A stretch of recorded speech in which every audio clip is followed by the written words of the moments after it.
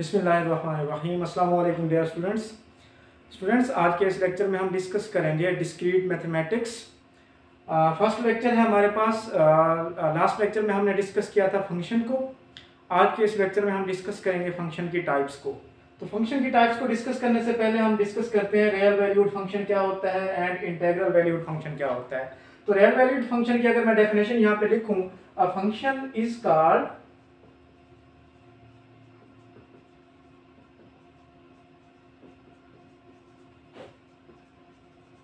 real valued if its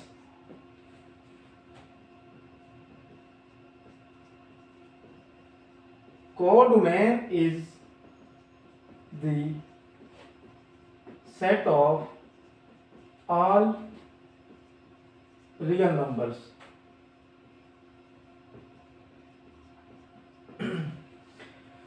ऐसा function real valued function होगा। अगर उस फ़ंक्शन की जो कोड मैन है, वो आपको क्या दे? सेट ऑफ़ रियल नंबर्स हो उसकी मीन्स के जो कोड मैन हो, आपके पास क्या होनी चाहिए? सेट ऑफ़ रियल नंबर्स होनी चाहिए।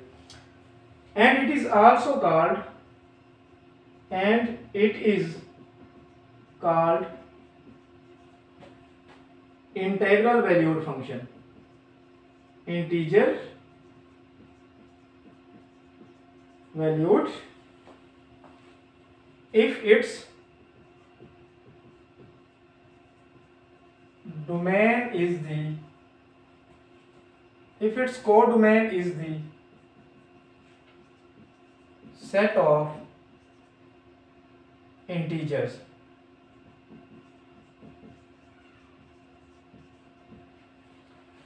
what is real valued function and what is integer integer valued function तो रियल वैल्यूड फ़ंक्शन में हमने क्या कहा? ऐसा फ़ंक्शन रियल वैल्यूड फ़ंक्शन होगा, अगर उस फ़ंक्शन की जो कोड डोमेन होगी आपके पास, वो पूरी की पूरी सेटअप क्या दे आपको? रियल नंबर्स दे। और आपके पास वो function integral valued integer valued function कब होगा? अगर उसकी जो कोड डोमेन हो आपके पास, किस तरह की हो? इस सेट ऑफ़ इंटीजर्स हो।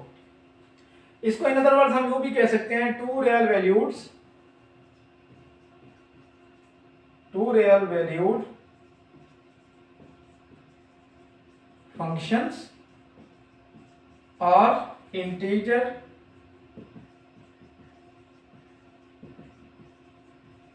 valued function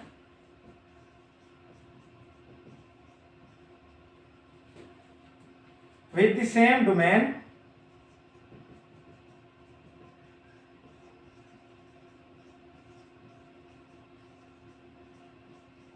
can be added as well as multiplied. तो जी स्टूडेंट्स ये हमारे पास रियल वैल्यूड फ़ंक्शन और इंटीगर इंटीजर वैल्यूड फ़ंक्शन में डिफरेंस है। ऐसा फ़ंक्शन जिसकी कोड में आपको सेट ऑफ़ रियल नंबर्स दे वो आपके पास क्या होगा? रियल वैल्यूड फ़ंक्शन होगा। और ऐसा फ़ंक्शन जिसकी कोड में आपके पास सेटअप क्या बने इंटीजर्स बने, वो आपके पास क्या होगा? इंटीजर वैल्यूड फ़ंक्शन और इसमें अगर आपके पास कोई दो रियल वैल्यूड फ़ंक्शन आ जाते हैं तो दो, या जो दो रियल वैल्यूड फ़ंक्शन होंगे, या आप यूँ कह लें दो रियल इंटीजर वैल्यूड फ़ंक्शंस जिनकी डोमेन क्या हो सेम हो, उनको आपस में ऐड भी किया जा सकता है और उनको आपस में क्या किया जा सकता है? मल्टीप्लाई भी किया जा सकता है। इसके बाद नेक्स्ट हम डिस्कस करते हैं सम ऑफ़ द फ़ंक्शंस को। सम ऑफ़ द फ़ंक्शंस हमारे पास क्या होते हैं, उनको देख लेते हैं। Sum of the functions sum of the functions में हम क्या देखते हैं? हमारे पास let F one from set A to set of real numbers and F2 from set A to set of real numbers be the two functions.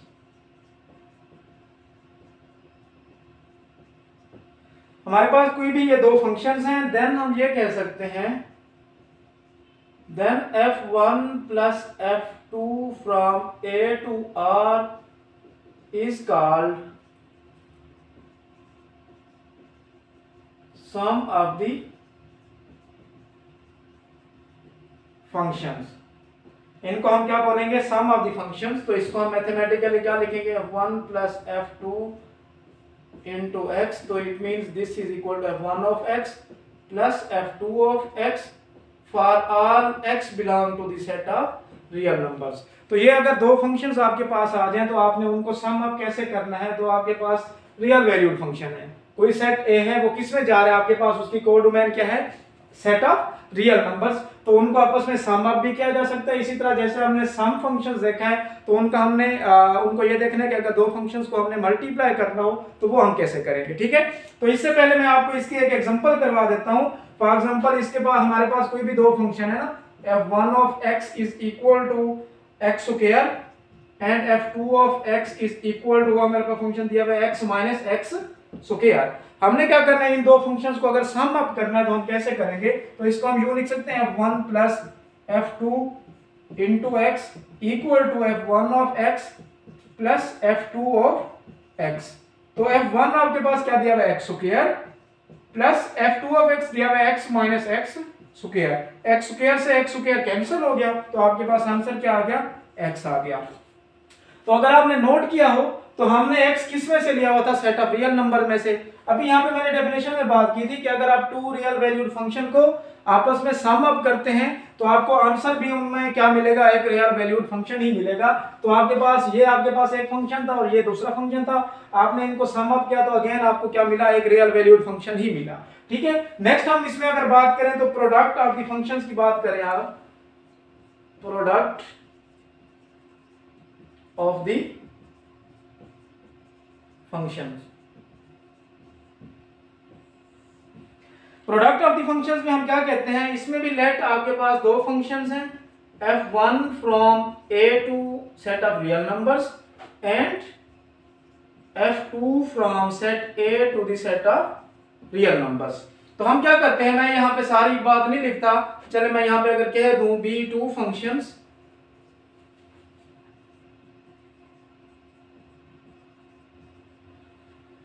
then f1 dot f2 from a to the set of real numbers is called the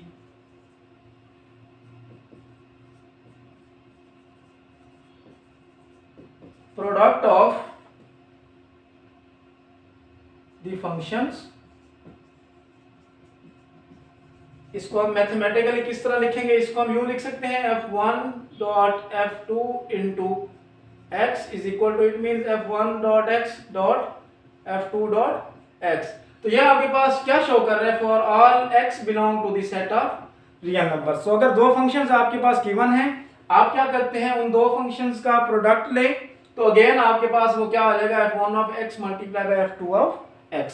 तो ये आपके पास कोई से दो real valued functions का product है। इसकी अगर मैं एग्जांपल लूँ तो इसके एग्जांपल में हमारे पास दो फ़ंक्शन इसी एग्जांपल को अगर मैं ले लूँ f1 ऑफ़ x आपके पास दिया हुआ है x square and f2 of x आपके पास दिया हुआ है x माइनस एक्स स्क्वायर तो इसके प्रोडक्ट में आपके पास आंसर में क्या आ जाएगा? इसको हम यूँ लिख सकते हैं f1 dot f2 into x is equal to f1 into x dot f2 into x.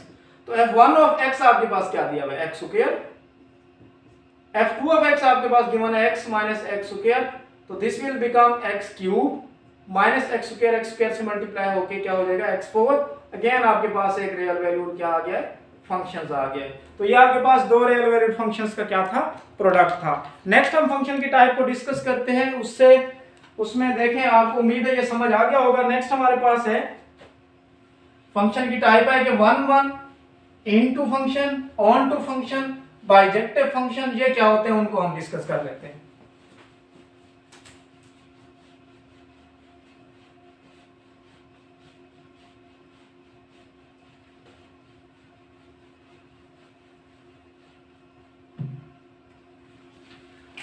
One to one function.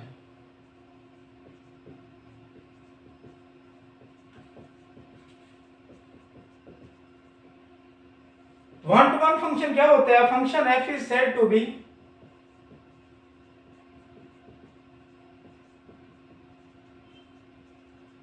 said to be one to one आपके पास वो फ़ंक्शन वन वन और या इसको इन अदर वर्ड्स हम बोलते हैं injective function और injective if and only if f of a is equal to f of b, which implies it means कि a is equal to क्या हो? B हो. तो इस फ़ंक्शन को हम क्या बोलेंगे? वन टू वन फ़ंक्शन बोलेंगे. इसको इन अदर वर्ड्स में यूँ भी लिख सकता हूँ दूसरी डेफिनेशन आप इसको यूँ लिख दें कि different elements have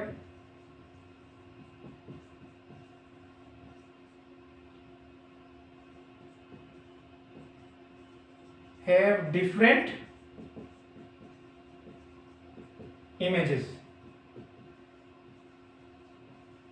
तो ये आपके पास क्या कहलाता है? वन टू वन फ़ंक्शन कहलाता है। A function F is set to be one to one or injective function if and only if f of a is equal to f of b, which implies a equal to b. In other words हम इस इस चीज़ को, ये mathematically लिखा हुआ है, इसको हम यूँ भी कह सकते हैं कि different elements have different images आपके पास दो सेट हैं। मैं इसकी अगर एग्जांपल दूँ, ये मेरे पास एक सेट ए है, ये मेरे पास एक सेट क्या है? बी है। मैपिंग है इनके between F from A to B set A में एलिमेंट्स पड़े हुए वन टू थ्री इसमें एलिमेंट्स पड़े हुए A B and C one, two and three अगर इनमें आप नोट करें तो ए के हर एलिमेंट का बी में डिफरेंट इमेज है। वन का इमेज ए है सॉरी वन का इमेज बी है टू का इमेज ए है थ्री का इमेज सी है। तो इसमें ये वाली कंडीशन सेटिस्फाई कर रहा है कि डिफरेंट एलिमेंट्स है डिफरेंट इमेजेस तो इसको हम क्या बोलते हैं? वन टू वन फ़ंक्शन या इनको इसको in other words injective function या वन वन फ़ंक्शन भी कहते हैं। तो इसके अगर मैं एग्जांपल दूँ, ये आपके पास वन टू वन फ़ंक्शन है। एक और एग्जांपल अगर मैं दूँ ये सेट ए है ये मेरे पास सेट बी है। इसमें एलिमेंट्स हैं वन टू थ्री इसमें है four A B C and D तो इसका मतलब ये हो गया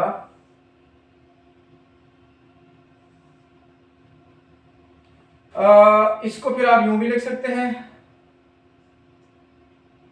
इसमें अगर आपके पास फोर पड़ा हुआ है यूँ अगर मैं इसकी बात करूँ, सबसे पहले तो इसको आपने ये देखना होगा कि क्या ये फ़ंक्शन है आपके पास। फ़ंक्शन में हमने क्या पढ़ा हुआ था कि अगर आपके पास कोई भी मैपिंग है set F from set A to set B तो सेट ए का हर एलिमेंट का सेट बी में यूनिक इमेज होना चाहिए। तो हर एलिमेंट का इमेज भी बन रहा है और अगर आप नोट करें तो हर एलिमेंट का यूनिक भी इमेज बन रहा है। अब इसको हमें ये देखना कि क्या ये वन टू वन फ़ंक्शन है वन टू वन फ़ंक्शन की क्या हमने पढ़ा कि डिफरेंट एलिमेंट से डिफरेंट इमेजेस सेट ए के हर एलिमेंट का सेट बी में डिफरेंट इमेज होना चाहिए। इसमें अगर आप नोट करें तो सेट ए का हर एलिमेंट सेट बी में डिफरेंट इमेज नहीं बना रहा। थ्री का भी डी इमेज बन रहा है फोर का भी डी बन रहा है। तो ये डिफरेंट एलिमेंट से डिफरेंट इमेजेस की कंडीशन को सेटिस्फाई नहीं कर रहा। ये फ़ंक्शन तो है, इस function but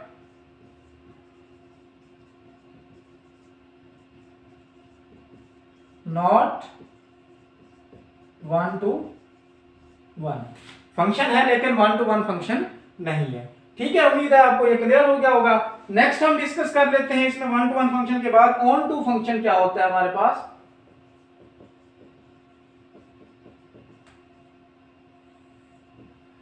on to function की अब मैं डेफिनेशन लिखता हूँ a function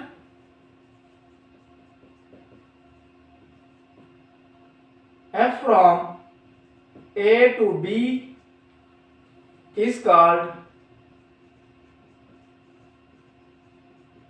onto in other इसको आप ये भी कह सकते हैं और subjective function subjective if and only if for every element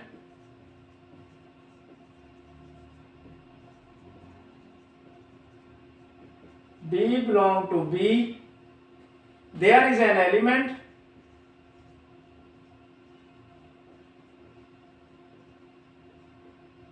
A belong to A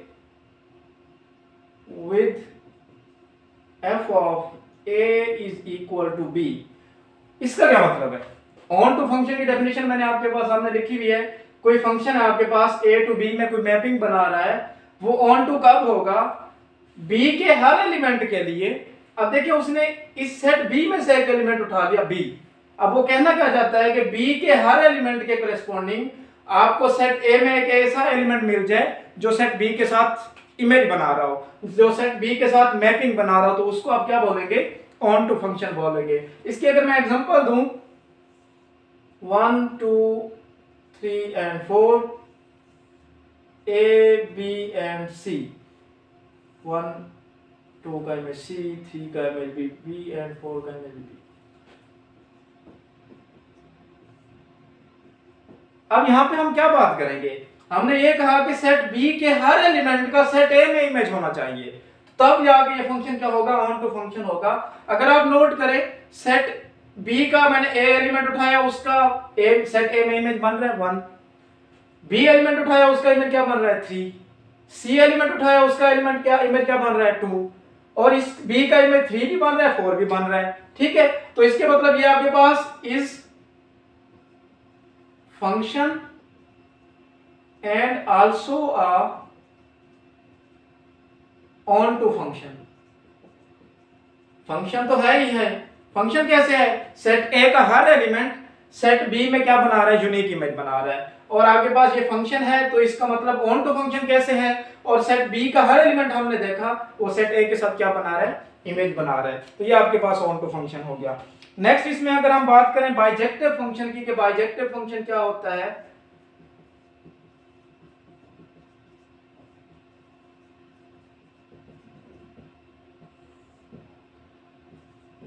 Function f from a to b is called bijective function if it is both 1 1 and on 2 bijective function कब होगा कोई भी function वो उस वक्त bijective होगा जब वो at a time one one भी हो और ऑन टू भी हो। अगर इसकी मैं एग्जांपल दूँ, ये मेरे पास सेट ए है और ये मेरे पास सेट बी है। मैपिंग है from set F from A to B one two three A B and C अब देखिए वन वन कैसे है। सबसे पहले वन वन में हमने क्या पढ़ा था कि सेट ए के डिफरेंट एलिमेंट्स के सेट बी में डिफरेंट इमेजेस होना चाहिए। Different elements have different images one का इमेज बी है टू का इमेज ए है थ्री का इमेज सी है. डिफरेंट एलिमेंट्स के डिफरेंट इमेजेस हो गए वन वन हो गया. ऑन टू की कंडीशन अभी हमने पढ़ा है कि सेट बी के हर एलिमेंट का सेट ए में इमेज होना ज़रूरी है. अब देखें ए के करस्पॉन्डिंग आपको सेट बी के एलिमेंट ए के करस्पॉन्डिंग सेट ए के एलिमेंट में वन उसका इमेज मिल रहा है. और इस तरह बी का भी इमेज मिल रहा है सी का भी इमेज मिल रहा है. तो आपके पास this is also called is one one and onto which implies इसको आप बोल सकते हैं ये फ़ंक्शन आपके पास किस तरह का है? बाइजेक्टिव फ़ंक्शन तो ये आपके पास क्या कहलाता है? बाइजेक्टिव फ़ंक्शन कहलाता है। नेक्स्ट अगर हम बात करें इनटू फ़ंक्शन की इनटू फ़ंक्शन हमारे पास क्या होता है, उसको देख लेते हैं।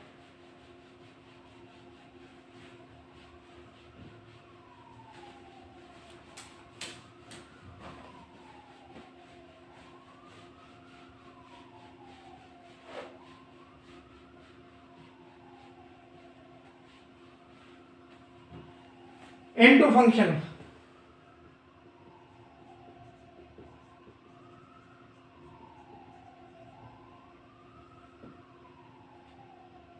a function f from a to b is called into function if and if range of f is the proper subset of b, अगर फ़ंक्शन की जो रेंज है वो b का क्या वो प्रॉपर सबसेट हो? प्रॉपर सबसेट का क्या मतलब होता है कि सेट b में कम से कम एक एलिमेंट ऐसा होना चाहिए जो सेट a में कंटेन ना करे, तब आप कहेंगे कि जो रेंज f है वो सेट b में प्रॉपर सबसेट है।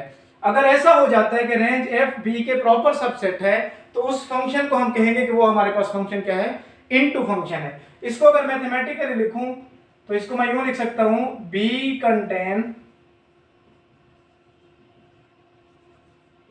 at least one element which is not in set A. B में कम से कम एक एलिमेंट ऐसा होना चाहिए जो सेट ए में बिलोंग ना करता हो। ये तो हम डेफिनेशन पढ़ते हैं प्रॉपर सबसेट की। अब इसमें इनटू फ़ंक्शन के हम कैसे कहेंगे? इनटू फ़ंक्शन में हम यूँ कह सकते हैं कि बी में कम से कम एक एलिमेंट आपके पास ऐसा हो जो सेट ए के साथ इमेज ना बना रहा हो। इसकी एग्जांपल देख लेते हैं। मेरे पास ये सेट ए है और ये मेरे पास सेट बी है। इनके बिटवीन मैपिंग है from F to A to B one two three A B C and D तो यू कहने वन का इमेज टू वन का इमेज सी टू का इमेज ए एंड थ्री का इमेज बी अब देखिए ये फ़ंक्शन है सबसे पहले। ए का हर एलिमेंट बी में इमेज बना रहा है। दूसरी बात ए का हर एलिमेंट बी में यूनिक इमेज बना रहा है।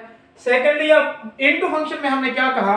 कि बी में एक एलिमेंट ऐसा मिलना चाहिए जो ए से मैपिंग ना बना रहा हो। अब बी में हमारे पास एक एलिमेंट एक मिसिंग आ रहा है।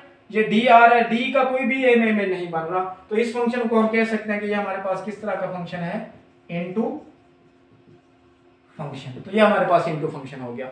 नेक्स्ट हम इसमें बात करें अगर कि हमारे पास आइडेंटिटी फ़ंक्शन क्या होता है?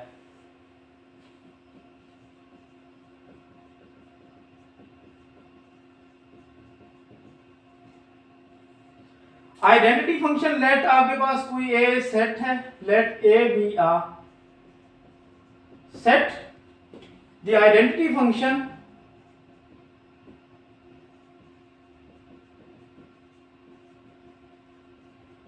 the identity function on a is the function identity को हम आई से बेसिकली रिप्रेजेंट करवाते हैं I from A to set itself A where I of x is equal to x identity function में basically क्या होता है? जो आप किसी भी सेट को इनपुट दें, वो आपको सेम आउटपुट दे।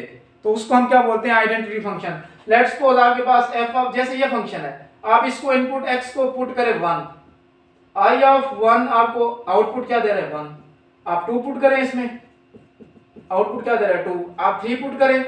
तो ये आपको आउटपुट क्या दे रहा है? थ्री दे रहा है। तो this is the identity function identity function कैसे आप याद रखेंगे? आपके पास कोई भी मैपिंग है from set A to it set A उसमें आप ए में से आपने एक एलिमेंट उठाया एक्स उस पर ये फ़ंक्शन अप्लाई किया आई आउटपुट भी आपको क्या दे? अगर आप एक्स दे रहे हैं ए में से तो आउटपुट भी आपको एक्स दे। जैसे यहाँ पे मैंने आपको बताया, आप एक्स वन पुट करते हैं तो आउटपुट आपको क्या मिलता है? वन टू पुट करते हैं तो आउटपुट क्या मिलता है? टू अगर मैं एक और फ़ंक्शन लिखूं I of x is equal to x अगर आपको आपसे पूछा जाए, क्या ये आइडेंटिटी फ़ंक्शन है? ये आइडेंटिटी फ़ंक्शन बिल्कुल भी नहीं है। कैसे? आप इसमें दें, आप इसको वन दें, ये आपको वन दे रहा है। चलें, आप इसको टू दें, क्या ये आपको टू देता है? आपने इसको टू दिया तो ये आपको फोर दे रहा है। तो ये आपके पास, इस कंडीशन पे आपके पास क्या आ जाता है? ये तमाम रियल नंबर्स के लिए आपके पास जो आप इनपुट दें सेम आउटपुट दे। यहाँ पे आपने एक इनपुट वन दी तो आपको आउटपुट सेम दे रहा था वन लेकिन जब आपने टू दी तो आउटपुट आपके पास क्या आ गई? फोर आ गई। तो इस तरह ये आपके पास आइडेंटिटी फ़ंक्शन नहीं है। आइडेंटिटी फ़ंक्शन की क्या पहचान होगी? जो आप सेट को इनपुट दें, वो आपको सेम आउटपुट दे। तो उसको आप क्या बोलते हैं? आइडेंटिटी फ़ंक्शन नेक्स्ट इसमें अगर हम देखें कंपोजिशन और फ़ंक्शन के बारे में हम डिस्कस कर लें